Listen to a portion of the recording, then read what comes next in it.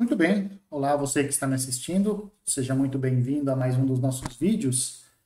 Vamos continuar então o estudo de sobre domínios que nós iniciamos no vídeo anterior, onde nós definimos o que, que vem a ser é, o conceito de divisibilidade, né, que significa um elemento dividir o outro, e nós também definimos e demos algumas propriedades, ou na verdade uma propriedade, né, de elementos uh, associados. Né? Nesse vídeo de agora, nós queremos basicamente falar sobre eh, elementos primos e elementos irredutíveis em, em, um domínio.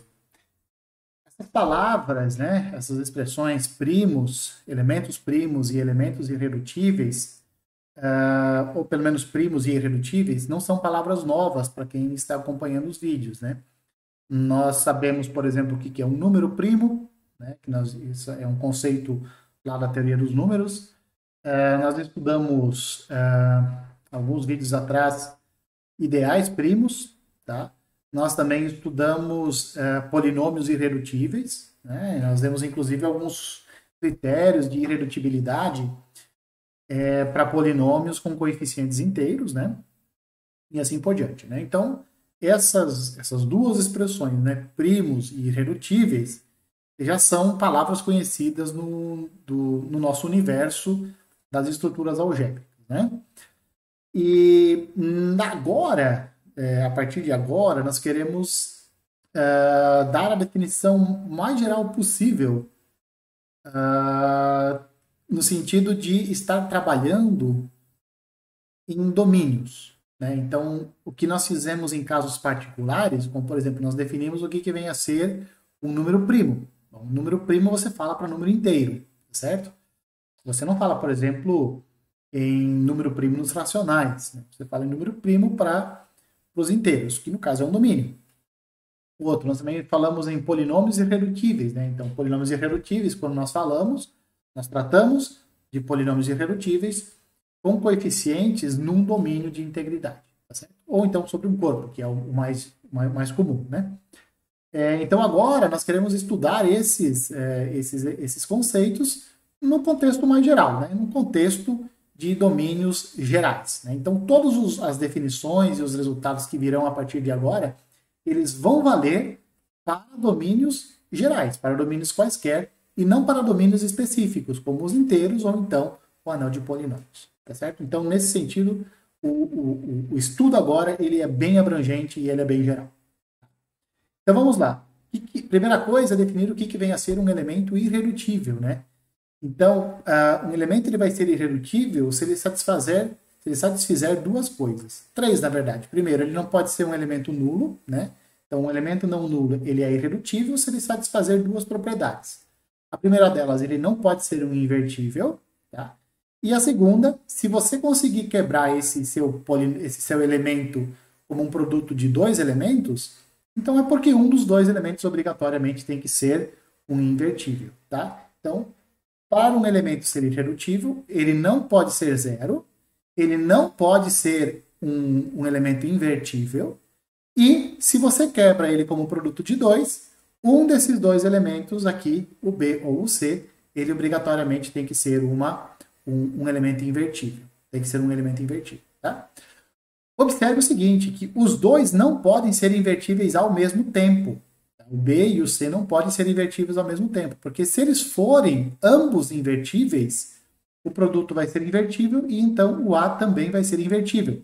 Isso vai ter uma contradição, vai, vai, vai contradizer o item 1. Né? Então, um dos dois tem que ser um invertível e apenas um deles. Tá? Isso para ser irredutível. O que, que vem a ser um elemento redutível? Assim, é, é, é, é, a negação de é a negação de irredutível. Quase isso. Quase isso. Então, para começar, para um elemento ser redutível, ele não pode ser zero. Tá? Então, um elemento não nulo vai ser redutível se ele não for uma unidade. Tá? Se ele não for uma unidade. E se você puder quebrar ele como um produto de dois elementos, e nenhum desses dois elementos é uma unidade. Né?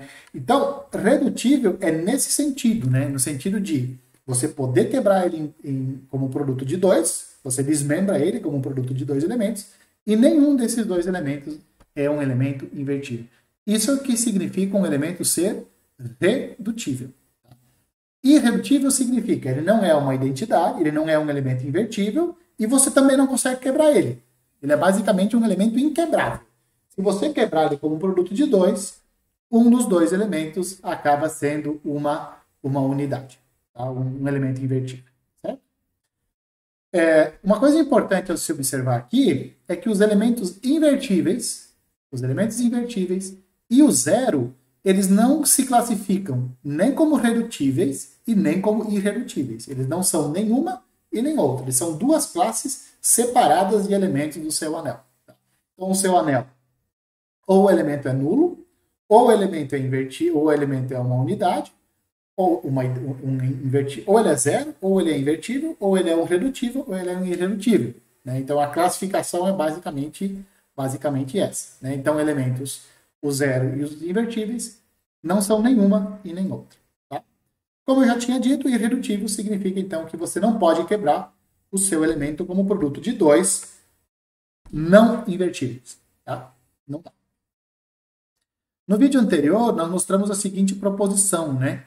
Que se você tem dois elementos no seu domínio, um deles é uma, uma, um invertível, então um elemento B vai ser associado ao invertível se e somente se esse B também é um invertível. Ou seja, elementos invertíveis só podem ser associados a um outro elemento invertível. Tá? Essa, essa é a, a única possibilidade de dois de um elemento ser associado a, uma a, um, a um invertível, se o próprio elemento for invertível. Certo?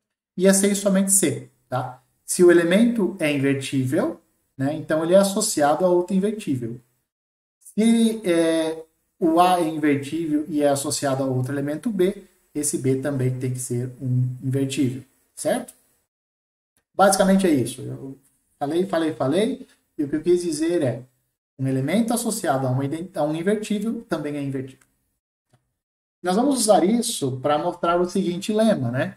Que se você tem A um elemento irredutível, A é irredutível e B é associado a A, então o B também vai ser irredutível. Ou seja, qualquer elemento associado a um irredutível continua sendo um irredutível. Tá certo? Isso que nós vamos mostrar agora. Esse é o primeiro lema do nosso, do nosso vídeo. Então vamos pegar dois elementos, A e B. A um, um irredutível e B um elemento associado ao A. Nós queremos mostrar que esse elemento B é um irredutível.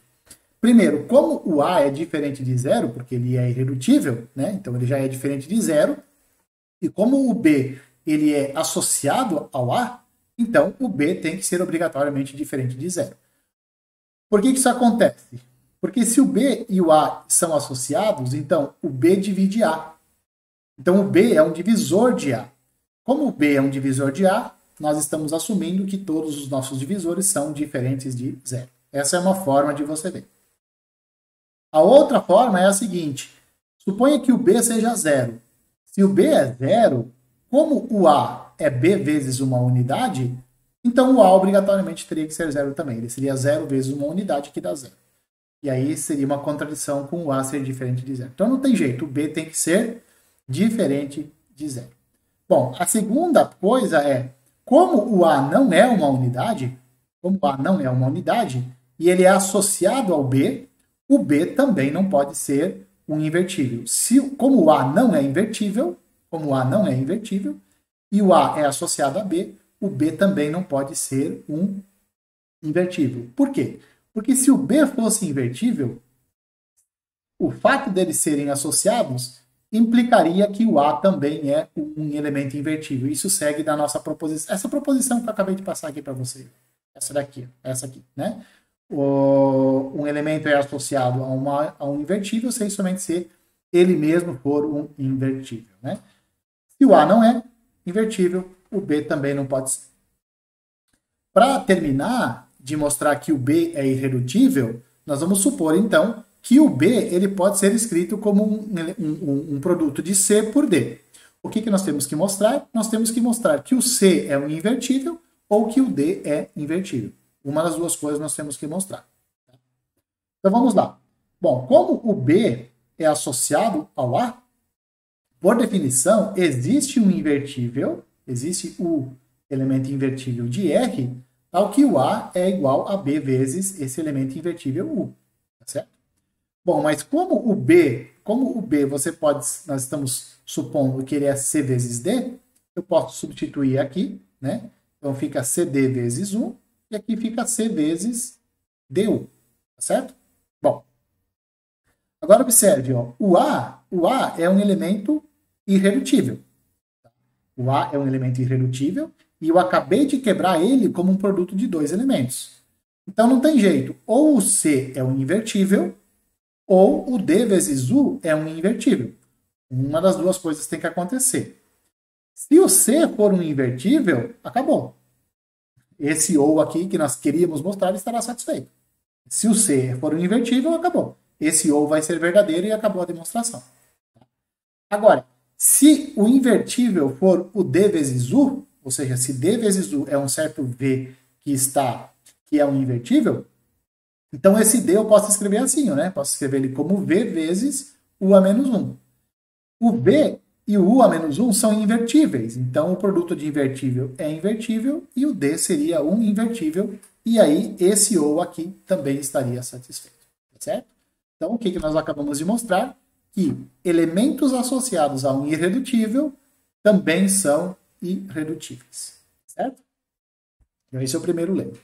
Bom, agora nós vamos então partir para a definição do que, que vem a ser um elemento primo. Né? Nós já sabemos o que, que é um, um, um, número primo, já sabemos o que, que é um ideal primo, e agora nós vamos definir então o que, que vem a ser um, é, um, um elemento primo em um domínio. Tá? Então, um elemento não nulo é primo se ele satisfazer duas coisas. Primeiro, não pode ser um invertível. E segundo, para quaisquer elementos A e B em R, se o P divide o produto, então o P divide um dos dois fatores. Tá? Essa é uma propriedade, essa definição, ela provém lá dos números primos. Número primo tem essa propriedade. O número primo divide um produto, se somente C, ele divide um dos dois fatores. Né? Ou seja, desculpa, se um número primo divide um produto, então ele divide um dos dois, um dos dois fatores. Os algebristas pegaram essa ideia, pegaram esse, essa propriedade de número primo e passou ela para o caso geral e disse, olha, a definição de primo é essa. Se o elemento divide um produto, então ele tem que dividir um dos dois fatores. Ou ele divide o A, ou ele divide o B.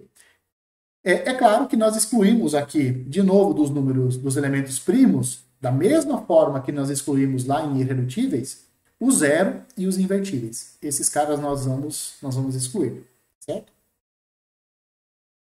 Bom, vamos lá. Então essa é a definição de primo. Essa é a definição de elemento, elemento primo. E o que, que nós vamos mostrar agora? Da mesma forma que nós mostramos que elementos associados é, a, a, a, um elemento irredutível continua irredutível, aqui nós também queremos mostrar que isso vale para primo. Ou seja, elementos associados a um primo continuam sendo um elemento primo. Então, se B é associado ao A e o A é primo, então B é primo. É isso que nós vamos mostrar agora. Certo? Bom, vamos pegar então dois elementos A e B, o A primo e o B associado ao A. Da mesma forma que nós acabamos de mostrar, no, no lema anterior, o B é diferente de zero, né? Porque o B é associado a um elemento não nulo, então esse elemento tem que ser não nulo. E o B também não é invertível. Por quê? Porque ele é associado a um elemento não invertível. Então o B também não pode ser invertível. Se fosse invertível, o A, por ser associado a esse invertível, ele seria invertível também. E aí seria uma contradição com a definição de primo. Então o B não é, não é invertível. Para mostrar que ele é primo, nós vamos ter que supor que o B divide um certo CD e mostrar que o B divide C ou que o B divide D.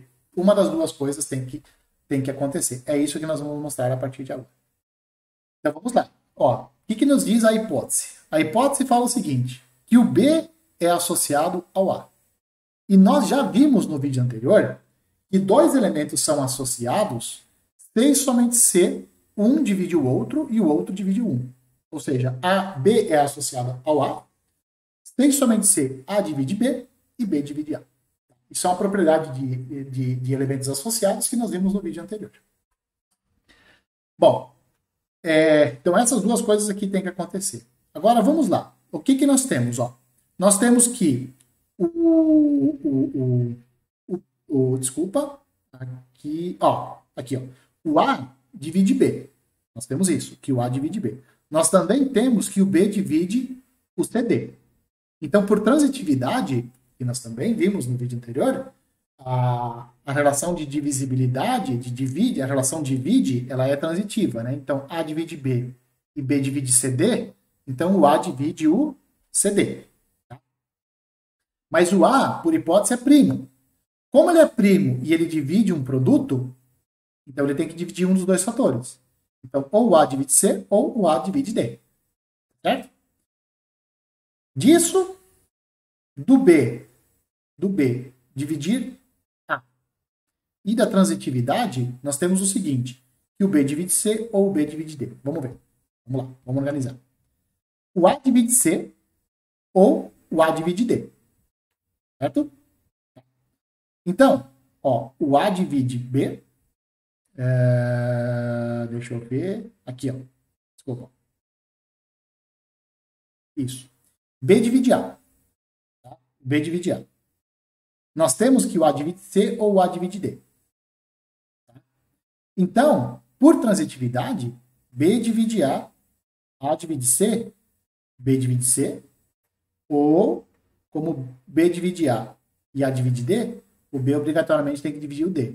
Né? Obrigatoriamente não. Então, o B divide C ou o B divide, divide D. Por causa disso daqui, isso nós temos aqui, ó, B divide A, essa é uma, é uma, uma coisa que nós temos. Uma dessas duas coisas aqui tem que acontecer. Se acontecer a primeira, então o B vai dividir o C por transitividade. Se acontecer a segunda, então o B vai dividir o D também por transitividade. Ó. Aqui o B divide A e o A divide D. Tá certo? Então, B divide C ou B divide D, que era exatamente isso que nós queríamos mostrar. Tá certo? Então, esse lema aqui, ele está provado elementos associados a um elemento primo continua sendo um elemento primo. O que, nós vamos mostrar agora? Esse lema fala, dá uma relação entre um elemento ser primo e um elemento ser irredutível. E ele fala o seguinte: e se você tem um elemento primo, ele é irredutível. Então, todo primo é irredutível, tá certo? Então, se você for no supermercado, toma cuidado, né? Usa máscara. Se você for no supermercado encontrar na prateleira um elemento primo, você pode comprar ele como irredutível. Todo elemento primo é irredutível. E é isso que nós vamos mostrar agora. Então vamos tomar A um elemento primo. Né? Por definição, ah, se nós queremos, por definição, ele é diferente de zero e por definição também ele não é um elemento invertível. Então a primeira, a primeira propriedade de ser irredutível já está satisfeita. Ele é um elemento não nulo e ele também não é invertível. Tá? Então, primeiro item da definição de irredutível está satisfeito. E agora, o que, nós vamos fazer para mostrar que ele é irredutível? Vamos supor que ele possa ser escrito como produto de dois elementos, C vezes D, e nós vamos mostrar que o C é um invertível ou que o D é um invertível. Tá? Uma das duas coisas tem que acontecer. Isso é que nós vamos mostrar a partir de agora. Bom, o que, nós sabemos? Nós sabemos que a relação de divisibilidade é reflexiva, ou seja, nós sabemos que o A divide A. Como o A divide A e o A é igual a CD, então o A divide o CD. Mas espera lá. O nosso elemento, ele é irredutível. Se ele é irredutível, se ele é irredutível, desculpa, ele é primo, né? Desculpa. O A é primo. Como o A é primo e ele divide um produto, por definição, ele divide um dos dois fatores. Então, ou o A divide C, ou o A divide D. Uma das duas coisas tem que acontecer. Vamos imaginar, vamos imaginar que o A divide C. Se o A divide C, existe um X em R, tal que o C pode ser escrito como A vezes X. Tá? Definição de, divi de divisibilidade, né? E aí nós temos o seguinte, ó. O A, eu sei que ele é igual a C vezes D. O C, eu acabei de escrever ele como A vezes X. Então, eu posso substituir aqui no lugar do C, eu posso colocar A vezes X. Tá certo? O A, o A é um elemento não nulo. Então, eu posso cortar ele aqui dos dois lados da igualdade, ó. Tá vendo? E aí eu vou ter que o x vezes d é 1. Se o x vezes d é 1, significa que o d é, uma, é um invertível. E aí, esse, esse ou aqui estaria provado. Então, se o A divide C, eu consigo concluir que o D é um invertível. Por outro lado, pode acontecer do, do A dividir o D. Se o A dividir o D, vai existir um elemento Y em R, tá? e o D é A vezes Y. E aí eu faço as mesmas contas. Ó. Eu sei que o A é C vezes D. Venho aqui, no lugar do D, eu troco por AY. Posso comutar, porque eu estou num domínio, e todo domínio é comutativo, então eu posso fazer isso. E aqui, ó, posso aplicar a lei do corte, porque nós estamos num domínio? Então vale a lei do corte num domínio. E aí eu vou ter o seguinte, eu vou ter que o C vezes Y é igual a 1. Então eu vou ter que o C vai ser um elemento invertível. Então não tem jeito. Ou o D é um invertível, ou então o C é um invertível. E, portanto, todo elemento primo é um elemento irredutível. Você pode se perguntar o seguinte: será que todo irredutível é primo? E aí nós vamos ver que isso não é sempre verdadeiro. Tá? Nem todo elemento irredutível é primo. Isso depende do seu domínio.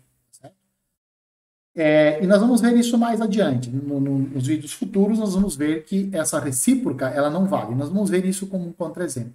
Porém, tem uma certa classe de domínios em que isso vale. Quais são esses domínios? São os domínios de ideais principais. Vamos relembrar o que é um domínio de ideais principais. Então, um domínio ele é dito ser um domínio de ideais principais. É a última vez que eu vou falar essa expressão. Domínio de ideais principais é muito grande. Eu vou abreviar por DIP. Tá? É, então, o nosso anel vai ser, o nosso domínio vai ser um DIP se todo ideal, se todo ideal é gerado por alguém, é gerado por algum elemento, tá certo? Então, isso vem a ser um DIP. Nós já sabemos, vá dar uma olhada lá na aula 23, aula 23, parte 3, exemplos de ideais. Lá nós mostramos que todo o ideal dos inteiros é gerado por um certo elemento. É, esse certo elemento, por causa disso, né, já que todo ideal dos inteiros é gerado por um elemento, então ele é um DIP. Na aula 30, parte 1, divisão de polinômios, aplicações teóricas, nesse vídeo aqui, nós mostramos o seguinte, que se K é um corpo, então o domínio, o anel de polinômios K de x, também é um DIP, ou seja, todo ideal, nós mostramos lá, que todo ideal do K de x, ele é gerado por um polinômio, e, portanto, ele vai acabar sendo um DIP. O que, que nós vamos mostrar agora? Agora nós vamos mostrar que aquela recíproca daquele último lema, ela vale em DIPs em domínios ideais principais, todo elemento irredutível é primo. Nós já sabemos. Primo implica em irredutível. Agora nós vamos mostrar o seguinte. Nos DIPs, irredutível implica em primo. Então o que, que nós temos? O conceito de primo e o conceito de irredutível, nos DIPs, coincidem. É a mesma definição. Então por isso que, quando nós vamos estudar é, os números inteiros, lá na disciplina de teoria dos números, nós não falamos em elementos irredutíveis, lá nós falamos em números primos. Lá nós usamos a expressão primo. Por quê? Porque como os inteiros é DIP, e num DIP primo e irredutível coincidem, são o mesmo conceito, né? então lá não faz sentido você falar em elementos irredutíveis. Ou, ou você fala em elementos irredutíveis, em, em inteiros irredutíveis, ou você fala em inteiros primos lá se optou, se, se, se optou né, por falar em elementos primos. Isso tem a ver com primo, com primeiro, isso tem toda uma, uma questão histórica de por que é que lá nos inteiros é, eles são chamados de primos e não de irredutíveis. Quando você passa para polinômios, quando você passa para polinômios sobre um corpo, né, é, lá você também fala Lá você não fala em, em, em, polinômios primos, lá você fala em polinômios irredutíveis. Né? E aí eu não sei qual é a parte histórica que diz o seguinte, ó, por que, que vamos falar em irredutíveis e não vamos falar em primos? Uma vez que esses dois conceitos, eles coincidem, já que o anel de polinômios sobre um corpo é um DIP. Então, no anel de polinômios, no anel de polinômios e nos inteiros, pelo menos nesses dois domínios, irredutível e primo coincidem. E fora todos os outros dips que nós vamos encontrar é, daqui para frente. Tá certo? Uh, então vamos lá. Vamos à demonstração. É, vamos pegar R um dip, tá? E P um elemento irredutível. Nós queremos mostrar que ele é primo, tá certo? Por definição, o P não é zero, porque ele é irredutível, e ele também não é um elemento invertível, porque a definição de irredutível exclui essas duas possibilidades de, de um elemento ser irredutível. Então não é zero e também não é um elemento invertível. Bom, para nós mostrarmos que ele é primo, para nós mostrarmos que ele é primo, nós temos que supor que ele divide um produto e temos que mostrar que ele divide um dos dois fatores. É isso que nós temos que mostrar. Aqui nós vamos fazer o seguinte, nós vamos supor que o P divide um produto de AB, divide o produto AB, e nós vamos supor que o P não divide A.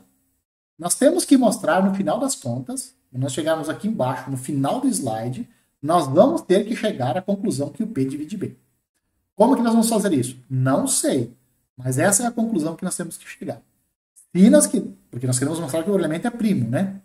Supor que ele divide um produto, suponha que ele não divide um dos fatores, mostra que ele divide o outro fator. Sempre assim. Então vamos lá. Nós temos que usar o fato do F ser um domínio de ideias principais. A hipótese de ser DIP, ela tem que ser importante. E ela vai ser importante no seguinte sentido. É, o P é o elemento irredutível, tá? e o A é o elemento que o P não divide. Tá certo? Então nós temos o seguinte: o ideal gerado pelo P mais o ideal gerado por esse A, e o P não divide, a soma desses dois ideais é um ideal. Como a soma desses ideais é um ideal, e nós estamos num DIP, esse ideal soma tem que ser gerado por alguém. Tá? Então, tem que existir um C que gera o ideal soma. Do ideal gerado pelo P e do ideal gerado pelo A. Tá certo? Bom, nós sabemos que o gerador pertence ao, próprio, ao ideal gerado por ele. Tá? Então, o P está nesse ideal. Todo ideal está contido na soma. Né? Então, o P pertence a esse ideal, esse ideal está contido na soma, então o P pertence à soma. A soma é o ideal gerado pelo C, então o P pertence ao ideal gerado pelo C. Como o P pertence ao ideal gerado pelo C, o P pode ser escrito como C vezes D. Claro, se ele está no ideal gerado pelo C, o P é C vezes C vezes D. Mas pela hipótese, o P é irredutível. Então, o nosso, o nosso elemento P é irredutível e eu acabei de escrever ele como produto de dois elementos. Não tem jeito. Um desses dois fatores tem que ser um invertível. Ou o C é um invertível, ou o D é um invertível. Vamos ver o que, que acontece se o D for invertível. Se o D for invertível, então olha só. O ideal gerado pelo P é o ideal gerado pelo C vezes D, já que o P coincide com CD. P é igual a CD. Então, esse o ideal gerado pelo C e o ideal gerado pelo CD é o mesmo. O problema é que se o D for um invertível, o ideal gerado pelo CD é igual ao ideal gerado pelo C. Esses dois ideais aqui eles acabam coincidindo. Como esses dois ideais coincidem, então eu tenho que o ideal gerado pelo P é igual ao ideal gerado pelo C. Eu vou voltar aqui em cima nessa, nessa equação aqui e vou trocar ideal gerado por C por ideal gerado por P. Tá certo? Então, ideal gerado por P mais o ideal gerado pelo A, a soma desses dois ideais, dá o ideal gerado pelo P. Espera lá. Se isso aqui acontece, então o, o elemento A, o elemento A, que pertence a esse ideal, portanto, pertence à soma, vai também pertencer ao ideal gerado pelo P. E aí o que, que eu vou ter? Eu vou ter que o A é P vezes alguém. Se o A é P vezes alguém, significa que o P divide A. Isso é uma contradição. Estamos assumindo e o P não divide A. Tá certo? Então, moral da história. O D não pode ser um elemento invertível. Porque se ele for, dá bode. Se ele não pode ser invertível, é o C que tem que ser invertível. Porque ou C é invertível ou D é. Um dos dois tem que ser. O D não pode ser. Acabamos de excluir essa possibilidade. Então é o C que tem que ser invertível. Se ele é um invertível, o ideal gerado por ele é o anel todo. Todo elemento invertível gera o anel todo. Ideal, né? E, portanto, o, o ideal gerado pelo P somado com o ideal gerado pelo A, olha aqui, é igual ao ideal gerado pelo C, que é R, então essa soma aqui dá o próprio R. Então, o ele, como o R tem identidade, tem identidade, então 1 pode ser escrito como um elemento daqui mais um elemento de lá. Ou seja, existe em x e y, tal que 1 é igual a px mais AY. Né? Um múltiplo de P mais um múltiplo de A. Isso tem que dar 1. Porque o 1 está lá dentro. Multiplica ambos os lados, multiplica ambos os lados por B. Como tudo é comutativo, eu posso escrever P vezes B vezes X, A vezes B vezes Y. Tá certo? Então, o B é escrito como essa soma aqui. Agora, observe o seguinte, ó. O P divide esse primeiro fator aqui, esse primeiro somando. O P também divide esse segundo somando aqui. Por quê? Porque o P divide AB. Se o P divide AB, o P também divide é, ABY. Isso é uma propriedade lá de divisibilidade que nós vimos na, na aula, no, no vídeo anterior. E o P divide isso daqui é fato, porque o P é um, é um fator, né? É um fator dessa, desse produto, então o P divide. P divide esse fator, P divide esse somando, P divide esse somando. Divide isso e divide isso, divide a soma. Mas a soma é B, então o P divide B. Que era o que nós queríamos. Nós queríamos chegar aqui no final do slide, lembra? É, mostrando que o P divide B. Então, acabamos de mostrar, e portanto o P é um elemento primo. Então, observe. Foi importante o fato de ser DIP? foi extremamente importante. Aonde? Aqui. Ó. Aqui foi importante o fato do nosso, do nosso, do nosso domínio ser de ideais principais. Então, como é extremamente importante aqui, então ela é uma hipótese extremamente necessária. Outra coisa também que é bastante importante é o fato de ser comutativo e de ter identidade. Tá certo? Bom, com isso então nós chegamos ao fim desse vídeo. Você pode chegar, slide 12 de 12. Espero que você tenha gostado. É bem geral. Isso aqui é completamente geral. Não estamos mais em anéis específicos, não estamos mais em inteiros, não estamos mais em, em anéis de polinômios. Estamos no caso super geral, caso mais geral possível, domínios de integridade, tá certo? E mostramos então que para DIPs, primo e irredutível coincidem. Fora isso, nós vamos mostrar um exemplo que nem sempre é verdade, nem sempre irredutível e primo coincidem. Tudo bem? Bom, então, um abraço a todos e eu espero que vocês me vejam nos próximos vídeos.